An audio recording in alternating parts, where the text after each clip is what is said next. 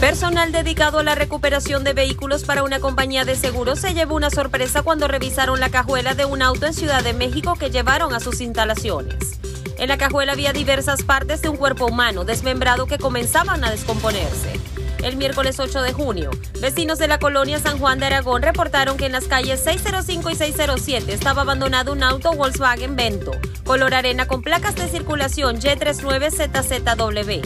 El auto tenía reporte de robo y los tripulantes de la patrulla MX374 acudieron al sitio, reseñó la agencia El Universal.